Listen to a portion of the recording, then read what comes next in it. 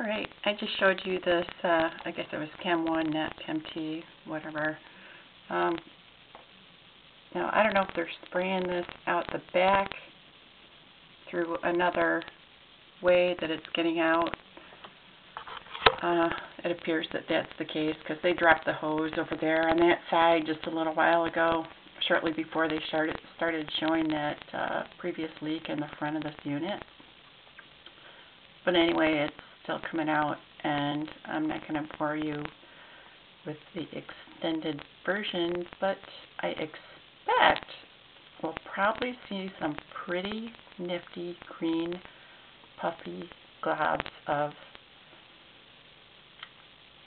whatever that is. It usually lands on the seabed and collects, and um, your guess is as good as mine, but there you go. That's what's going on.